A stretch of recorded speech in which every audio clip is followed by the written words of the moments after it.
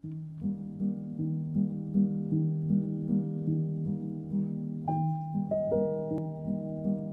is Linda Botus, ek is van die Dorings in die Heksrivier Vallei. Daar is tye wat ek voel hoe my hart pyn. 'n Mens se hart kan op baie maniere seer kry. Soms dan kan ons genoeg tyd maak vir onsself as vrouens sê en dan voel ek wanneer ons as vrouens bymekaar kom vir die halfdag of so, ek geniet dit baie.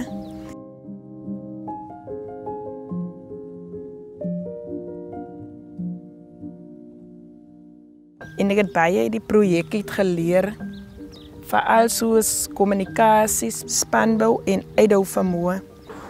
I want peace and love for my children and family. Ek is moeg van die vullis in ons strate want my kinders se gesondheid word geaffekteer. En dit is my koelwerk. Ek is besig om 'n kombers te maak. Ek kan nie wag vir die eindronde van die kombers. Ek sien so uit vir dit. Ek het nooit verwag ek kan sulke mooi werk doen nie, maar ek sien nou ek kan daarom mooi werk doen.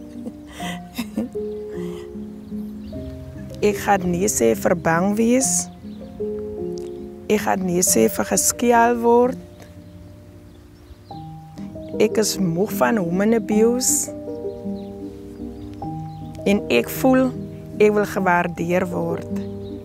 In die toekoms wil ek nog meer mal werk en ek wil nog meer uit die projek uit leer.